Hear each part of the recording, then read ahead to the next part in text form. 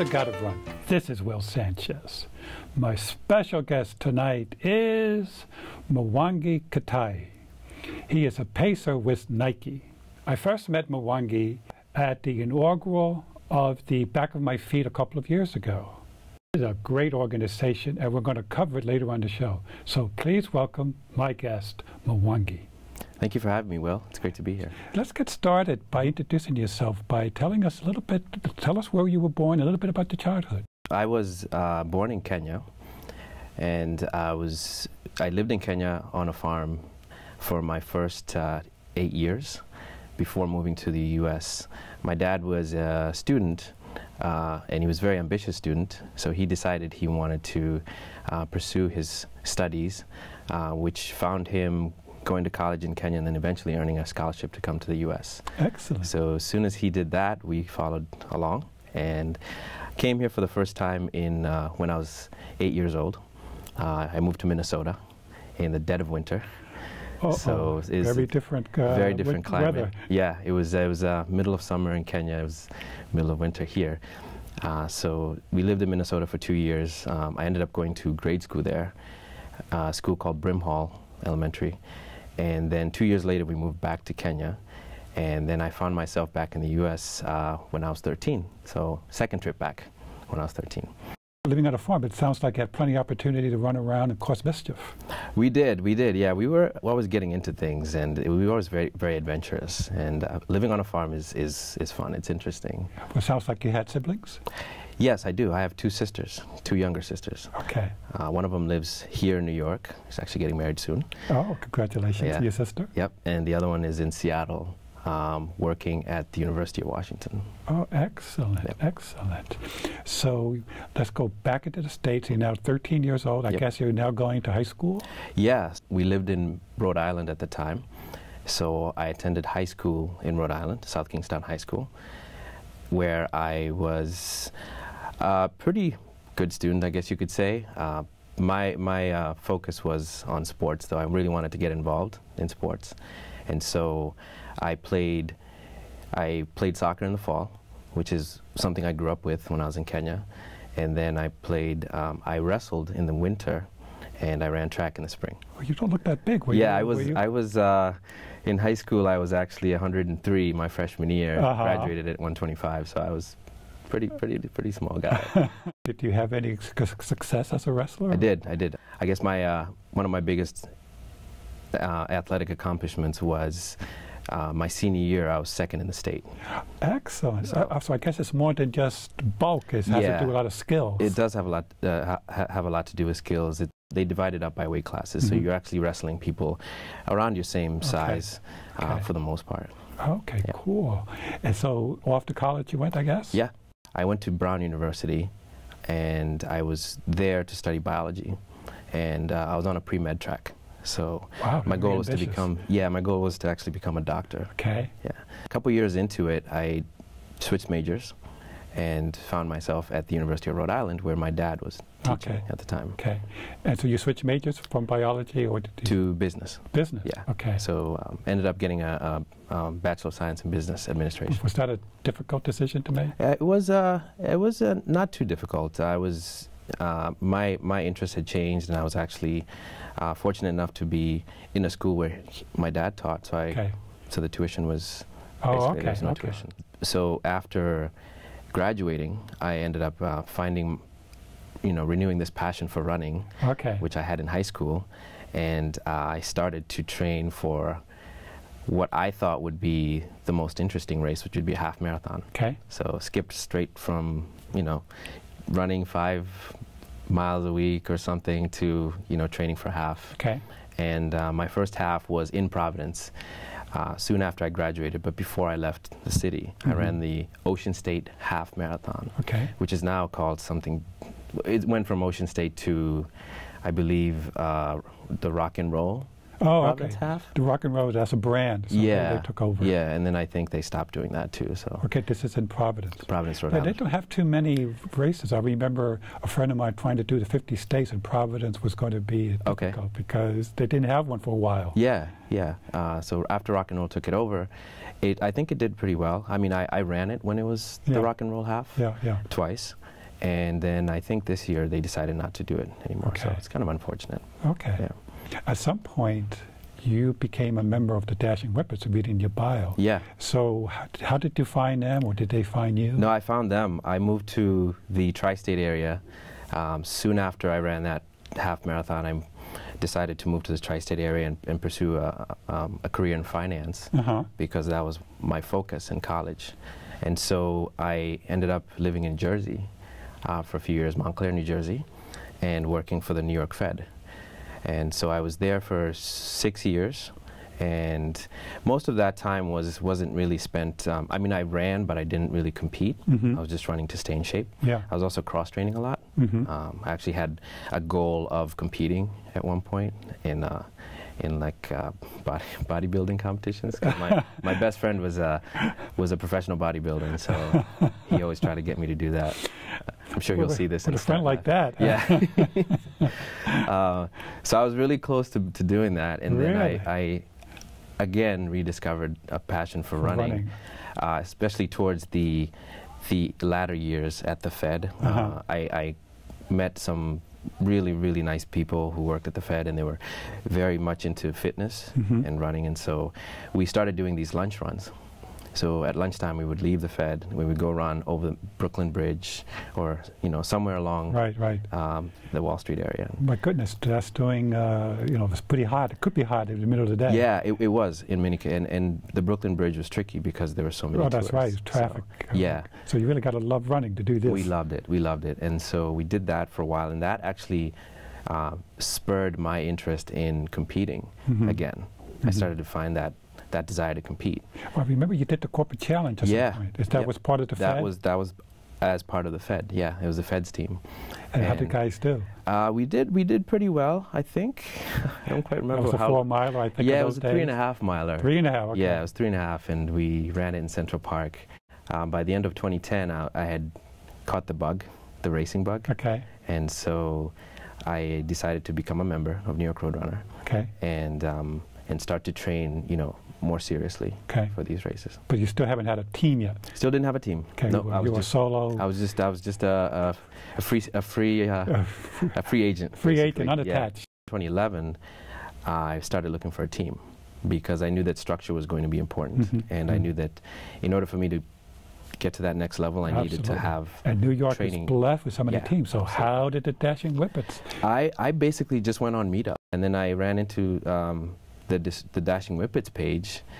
The description uh, on the front was, you know, uh, it it seemed like something I wanted to learn more about. Mhm. and so and then I kind of went through the the membership, and after you know next to each name there's a, a description of each each runner and Yeah, yeah. how they found the team, and so I just read through a few of those, and I was sold. I said I need to check this team out. Okay, so you showed up and Yeah, I uh, just showed up. It was a Tuesday track workout, I believe. Uh-huh, It was in uh-huh. Central Park. They were doing hill repeats. Okay. So I just showed up. I met Cat uh, Hill or Strawberry Uh, Hill? it was actually Harlem Hill. Harlem to Big Yeah. Hill. Oh, geez, Yeah, guys, they those guys don't fool around. no, they don't. Uh, they're a great team. So I, that's when I met, you know, the captains Matt Wong and Patricia and uh, Rich, Mhm. and um, uh, developed some really good friends there. So I, I ran with them that day. At the time, they had a, you know, try us and if you like us policy. Okay. So they invited me to come back and try a few more workouts, which I did, and then eventually I became a member. I think you got promoted to captain at some point. Yeah, uh, my skill level went up. Mhm. And so the, the, the better I got, the more I wanted to get involved. And so I started to find ways to, to do more than just running. I wanted to do more with the team. And That is help other people. Yeah. Because a captain has many roles. Right, Besides your own personal development, right. a captain now has responsibility to bring other people along, Right. Right. So I found myself just naturally being more involved in, in other things. Uh-huh. And in uh, early 2012, they decided to name me as a captain because I was already doing a lot of these things. They probably liked the idea you were Kenyan. They probably said, oh, maybe some of that speed, that Kenyan Yeah. secret would rub Yeah, off. there, there were a couple of us on the team. Uh, me and my friend Wams, uh, we're, we're both from Kenya, and I, I'm sure they appreciate it. Oh, it was cachet to be a Kenyan runner. Yeah, It sounds like you I- had a good good amount of speed. I yeah, I was a pretty good runner. I you know I I always that you always have things you can work on for Mhm, sure, but for um, sure. Uh, but running came easy to me, and it still does. Uh-huh, uh-huh. And that's I think that's a big reason why I enjoy it so much. Okay. Yeah. Well, to an introduction, I, I mentioned Back on My Feet, Yep. which is a wonderful organization Mhm. that I heard from, uh, also from a Dashing Whip- Whippet at the time, Keno. Well, he's back at the, Keno's back with the Dashing Whippet. Okay. And he told me about it. And that's an organization that helps people that are experiencing homelessness to get back on their feet. Right. How did you hear about them and why did you get involved with them, considering that you were kind of busy now with the Dashing Whippet? Yeah, I was at a point in my life where I wanted to do more charity work and and help even more people.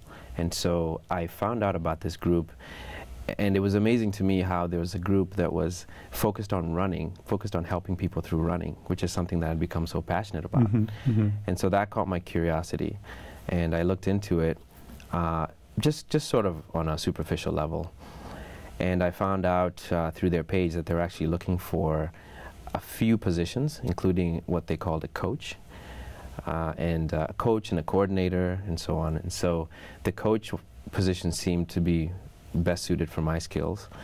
So I reached out to Mishka, who uh, was the program coordinator at the time Right, for, for the New York chapter. For, for the New York that's chapter. right. Yep. Well, we should mention uh, this is for New York because Back on My Feet has chapters Yeah, that's all a, over the country. That's a good distinction. Yeah, this Yeah. is just the New York chapter. Right, I think right. They, they began in, in in Philly. Right, that's right, that's right. now they have- Mishka, Mishka, Back on My Feet was her uh, handle. Yeah, yeah, she was amazing. She was amazing. She is. And so uh, uh, she decided to bring me on, and that's when I started to coach uh, the Fortune Society. Uh, Which is located where? and and that that name has changed. I think they call it Uptown now, but it's it's on um, it's on Riverside Drive um, at the Fortune Society building. So Where's between that? 140th and 141st. Oh, okay, that's way up there. Yeah, yeah, it's Uptown. Regardless of which location you were at, you had to be at the Fortune Society by a certain time. Yeah. Like five o'clock in the morning. Yeah, one thing they did is they they wanted people to learn how to be uh, committed and responsible, and so they had these five 5:45 a.m. runs Okay. three times a week.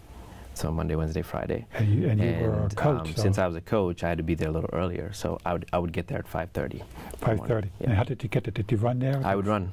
I would just run from my apartment. I lived on I lived on the other side of Harlem at the time, on 135th and um, Fifth Avenue. Okay. So I would just run across and up the hill and Uh, uh, my goodness. Did you? F- well, did you feel safe at that hour running? yeah, I felt fine. The, Nothing's you know I, I'm not.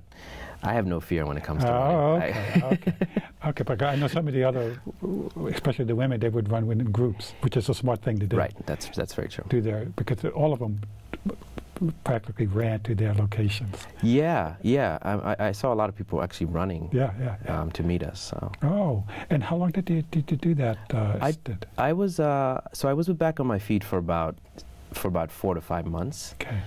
and uh, I just wanted to keep going. Yeah. Uh, but at the same time, I uh, found out that um, Nike was bringing um, a running concept store to New York, and so um, that also intrigued my curiosity.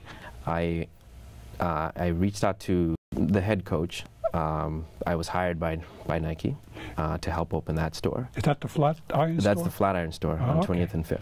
Okay, Yep. because they had already stores in Nike Town, and I'm not sure if it's someplace else. Was that maybe that was the second yeah, store they opened? this was the second. So Oh, Nike okay. Town was the first, and Nike Town ha- had a, a, a men's running floor and a, men, and a women's running floor. That's right. So this was um, a uh, running only store, okay, and it was the first running only store in New York, um, but the second Nike store. that's right. That's right. Uh, I was part of Nike, but I never made it to the Flatiron. Oh, really? And I guess he quickly became the Iron Runners. Yeah, yeah. Then we adopted that name, the Iron Runners, um, iron from from Flatiron, Right. and uh, the store just grew from there. Right, and I remember, I think, I did go visit there. I think you had Alberto Salazar come and visit and give a talk. that's one thing I've really enjoyed about working with Nike is we're always something interesting and new and, and exciting is always happening. And so we get a chance to be involved in so many things, and that was one of them. Bringing Alberto to the store uh, was, was special. This is someone I had admired. I followed him, I followed the Oregon Project, and so to see him in front of me was well, just brought me to go to the Flatiron. Well, I Yeah, have to, I have to meet Alberto, you know, exactly. especially in a social setting. Yeah, Because he sounds like, he looks like a very serious guy when you see him on the, on the course. yeah.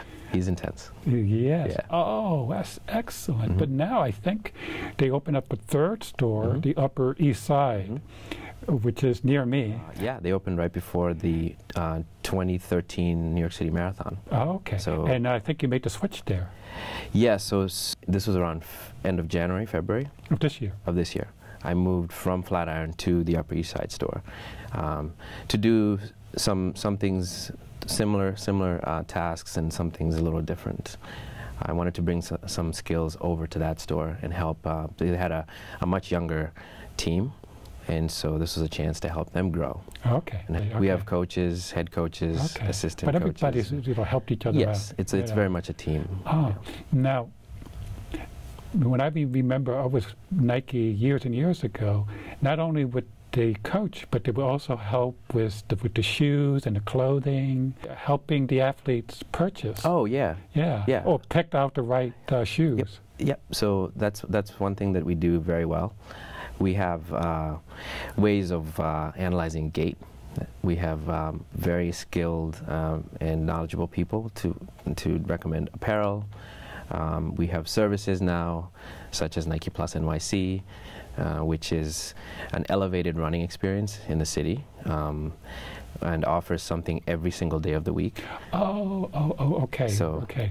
That's the changeover. You- Yeah. They call it the, the evolution of Nike running. Yeah, every day of the week there's something happening. So uh, on Mondays there is the what they call NTC, which is a, a basically a uh, cross training, almost like a boot camp. Mhm. You can think of it that way. Um, workout at Nike Town. So it's actually on the roof of Nike Town. Uh, really? Yeah, it's, it's amazing.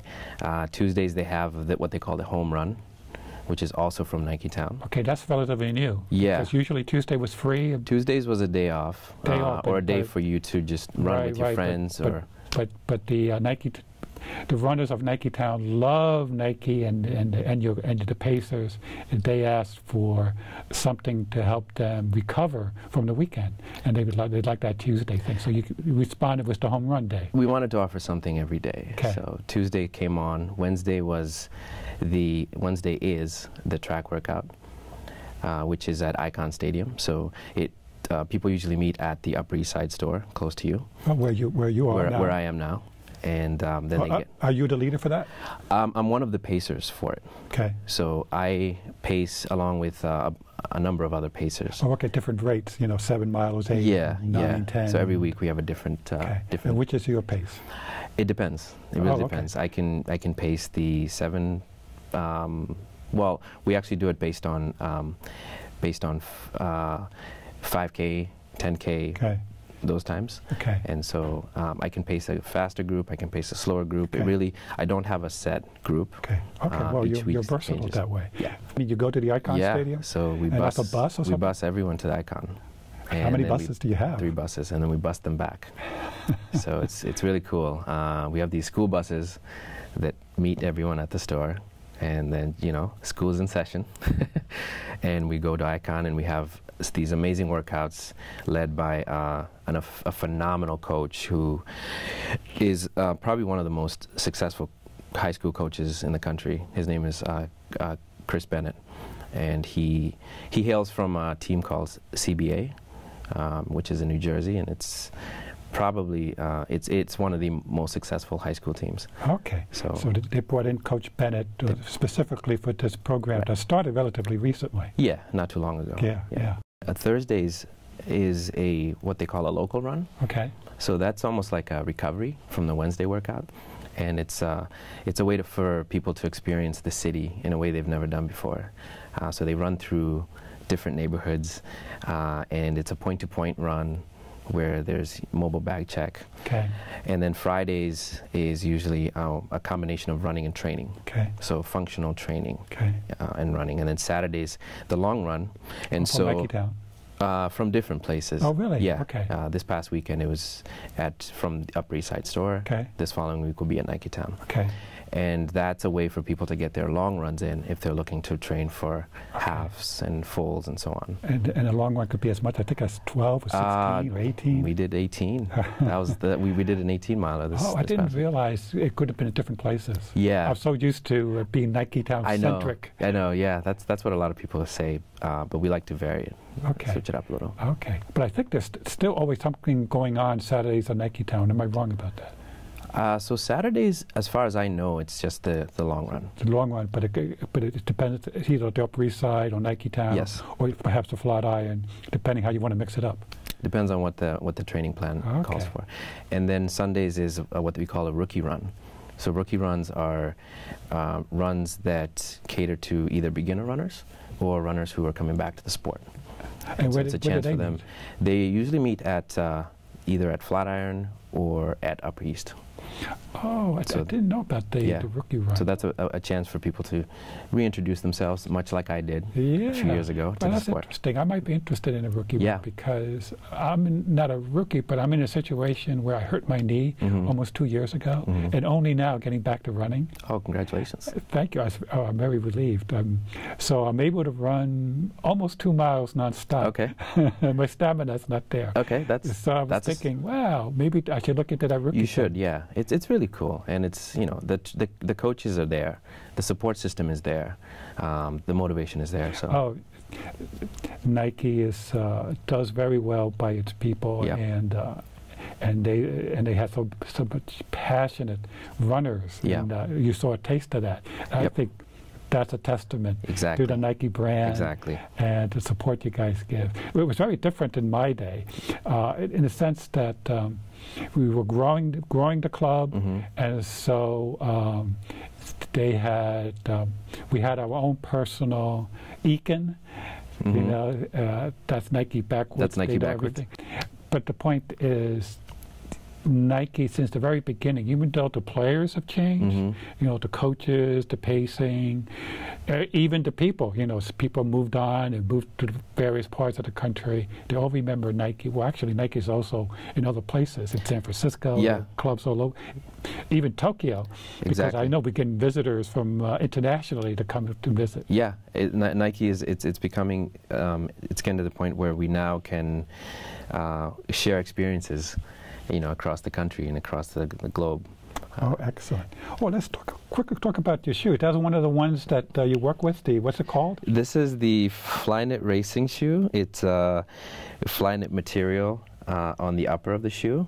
Uh, it's actually knit fabric material, uh, and it's on a racing flat um, outsole. so this is designed to be a marathon shoe, but it does well as just a, a casual shoe, as you can see. As you're wearing as a Um, casual. Yeah, it's, it's, it's a very looking. comfortable shoe. This is something that we started uh, in 2012, I believe. Uh, you mean this particular brand? uh, the Flyknit Racer Yeah, made yeah. its debut in 2012. Do, do they change every 12 months or 18 months? in The color, the colors change. Uh, The design has been the, it's, same, it's been the okay. same pretty much, and it's Oh, okay. Well, in, in closing, Mhm. what's uh, some of your personal challenges that you have coming up in terms of racing? well. I so I when I started training, I s- found quickly found out that um, I had quite a good range of abilities, so I could you know I could run in, race anything from the mile all the way to the marathon, and I was still feel comfortable doing so. And so I I think it was 20, 2010 I signed up for my first um, no 2011 I signed up for my first Fifth Avenue mile, and I ran that, and I was also in the middle of marathon training when I ran it. The- Okay. The, timing of the Fifth Avenue mile Okay. you know. So, uh, but I enjoyed the Fifth Avenue Mile so much that I decided I wanted to run that race every single year. Yeah. Now, so- do you do the how, how fast do you do that? Uh, my first race was in 5:30, Okay. 5:32, and then the most recent last uh, two years ago I ran in 4:40. Oh, that's a big So difference. yeah, What accounted for the huge? Well, a lot of it was the Dashing Whippets training. dashing whippets. Yeah, a lot of it was the Dashing Whippets So, training. so you mentioned the name Scott uh, Baton. again? Yes, Scott. Scott is is the coach. There's the coach. Uh, his training plans we followed. We did the workouts every Thursday, and that was a big reason oh, for, for that that progress. And then the the training I did with uh, my Nike colleagues uh, was also really instrumental. So I so so the marath- the mile became one of my favorite races. mhm. Uh, I ran Lehigh that year, 2011, The Lehigh Marathon. the yeah. Lehigh Marathon. Yep, that was where I BQ'd. And then I ran Boston the following year. It's uh, one of the hottest days on record. Oh, hottest day. Yeah, Oh, so- geez. right. They almost canceled that. I Mhm. remember there was a lot of talk. they were offering people um, deferments. That's oh, that's uh, unusual. Yeah. Did they? Did that? Oh, well, Chicago. I think they at the middle of it they canceled it. That's right. Yeah, Chicago. They actually stopped the race. It was that the same year? I think that was before. That was before. Yeah. Interesting. And I think you're doing Chicago coming up, right? Yes. I love the mile and I love these short distances, but every year I want to be able to check off what I call a bucket list run uh, race, and so Chicago is on my bucket list. Okay. So, and then next year will be another.